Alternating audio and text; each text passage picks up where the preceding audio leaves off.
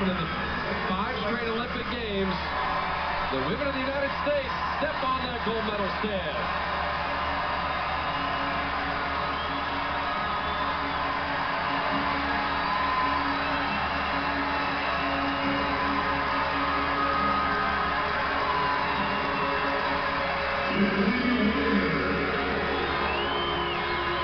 I'm going to steal from our partner, Doug Collins, Andy, where players come to these gyms and they always have headphones on. They always listen to their music in the pregame.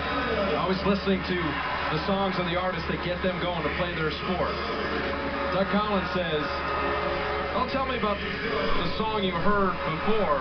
Tell me about the last song you're going to hear at the Olympics and what you want it to be is your national anthem.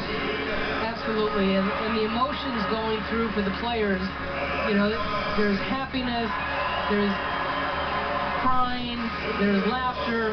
I mean, every one of them is experiencing something different because they've all come through a different journey in a different way. And certainly to hear the national anthem and to see your flag raised above everybody else is just such pride that you can't again, I, continue to say you can't explain to people, and you will hear every Olympian say, you can't explain what I was fortunate enough to go through. Tamika Catchings, her third gold medal. Absolute star at Tennessee. Swin Cash, part of the Connecticut Six of the 12 women of the United States. And Diana Taurasi, the heartbeat, emotional leader of this team. Yeah, she really has been. And I thought Tamika Catchings made a great statement. She goes, we all grow up. And so even from college, they're all, they're all proud of the colleges they went to and the coaches that they played for. But now they're professionals. And these are young women that respect each other, not only in their game, but their friendship. Tina Charles, her first gold medal. And Candace Parker had the double-double. She led the way in the gold medal game in the 86 50 win over France.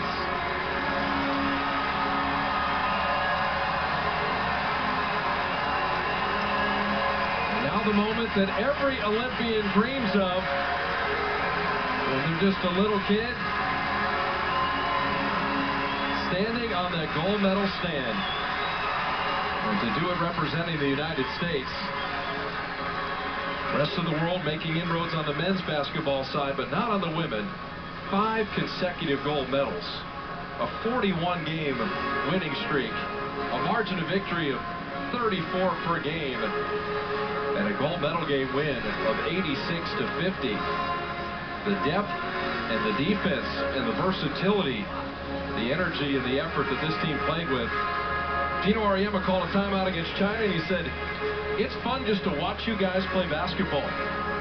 When's the last time a coach ever said that in a huddle? I know, and Sue Bird kind of rolled her eyes when he had said that, but certainly he, he said it, I, I was a fan, just watching the way you guys executed, and certainly every game was not as cleanly played as they would have liked it, but there were so many times on the court that they showed such brilliance, and you wonder what this team would be like if they could have two months together.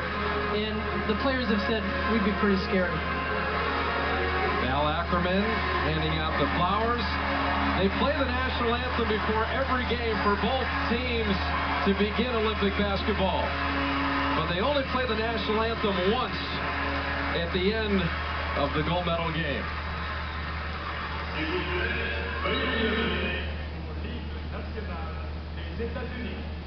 Please stand for the national anthem of the United States of America.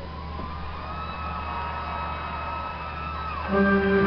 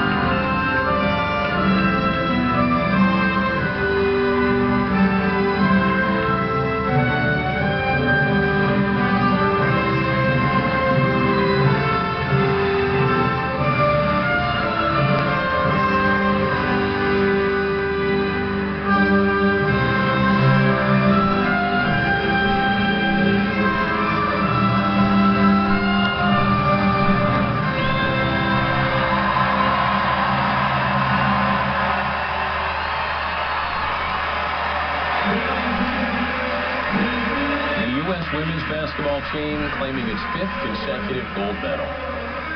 That completes our daytime coverage here on day 15. A reminder, Olympic Prime Time with Bob Costas coming your way at 8 p.m. Eastern and Pacific. For Al Michaels, I'm Dan Patrick. Talk to you tomorrow.